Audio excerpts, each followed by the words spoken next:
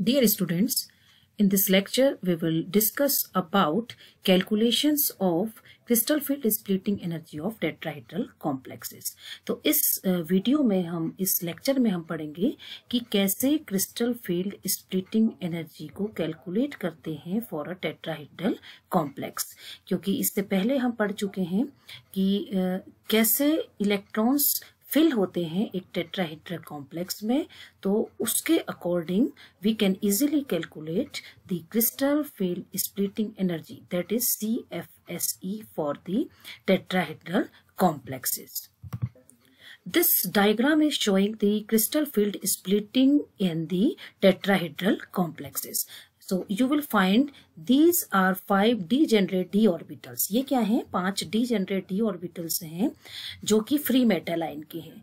और जैसे ही इसको लिगेंड अप्रोच करेंगे फ्री मेटल आयन को, वैसे ही क्या होगा? अगर लिगेंड जो है वो बराबर तरीके से अफेक्ट करते हैं इसको डी ऑर्बिटल्स को तो इन पाँचों की एनर्जी क्या होगी? बढ़ जाएगी। This is a hypothetical situation I have already discussed in the previous lecture on crystal field splitting of tetrahedral complexes वहाँ पर आपने देखा कि ये एक हाइपोथेटिकल स्टेट है, लेकिन क्या हो रहा है कि जो लिगेंड्स आ रहे हैं, वो स्फेरिकली नहीं हो इफ़ेक्ट कर रहे हैं डी ऑर्बिटल्स को।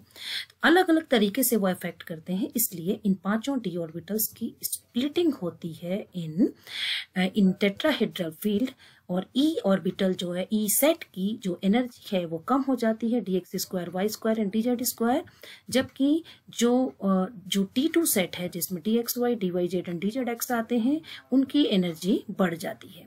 टी टू और ई e के बीच के डिफरेंस को क्या कहते हैं? Delta T it is the crystal field stabilization energy for tetrahedral complex जो टी टू सेट के ऑर्बिटल से हैं their energy will increase so these orbitals energy will increase तो ये क्या होंगे? डीस्टेबलाइज होंगे।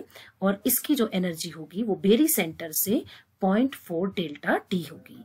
और जो ई सेट के ऑर्बिटल्स हैं, उनकी एनर्जी कितनी होगी? Minus point six delta T, क्योंकि ये इनकी एनर्जी क्या हो रही है? इस बेरी सेंटर से की एनर्जी कम हो रही है, और वो क्या होगी? Minus point six delta T.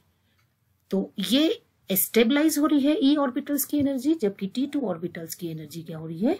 D stabilise हो रही है। तो अगर हमें पता चल गया है कि ये इस तरीके से टेट्राहेड्रल कॉम्प्लेक्स की स्प्लिटिंग होती है then we can easily calculate and we already know how to fill the electrons in these E and T2 set.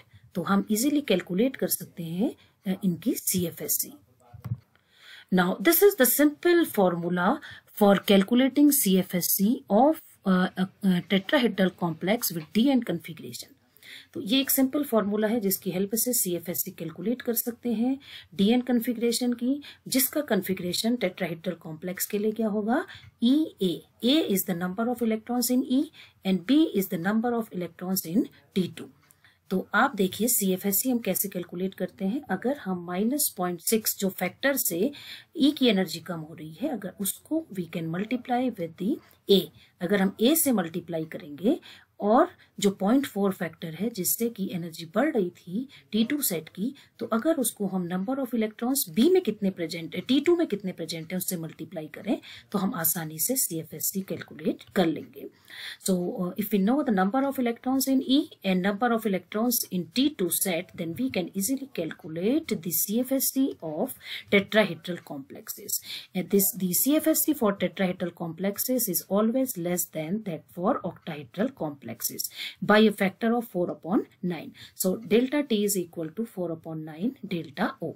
जो crystal field splitting energy tetrahedral complexes की होती है, वो हमेशा कम होती है ऑक्टाहेड्रल कॉम्प्लेक्सेस की क्रिस्टल फ़ील्ड स्प्लिटिंग से by a factor of four upon nine और इसको, इसका मतलब है कि हम C F S C calculate कर सकते हैं टेट्राहेड्रल कॉम्प्लेक्स की in terms of delta O also और एक पॉइंट जो और है, याद करने के लिए कि for tetrahedral complexes delta T is always less than P ये मैंने आपको पहले भी बताया है कि ये जो डेल्टा टी है crystal field stabilization energy for tetrahedral complex ये हमेशा कम होती है पेयरिंग एनर्जी अधिक होती है।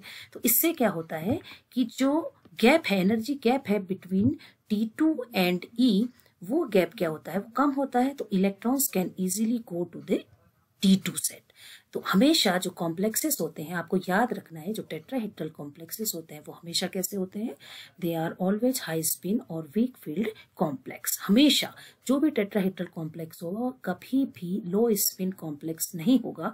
It is always high spin complex now this is the C F S C CFSC calculation for D1 configuration. अब डी वन कन्फिग्रेशन में आप देखेंगे there is only one electron in here.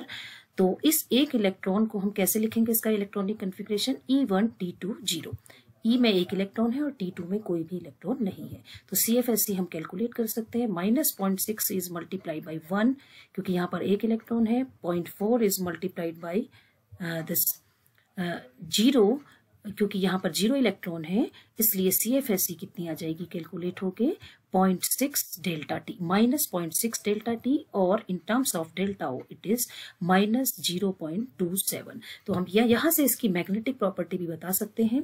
एक electron के according इसकी magnetic property होगी it is paramagnetic in nature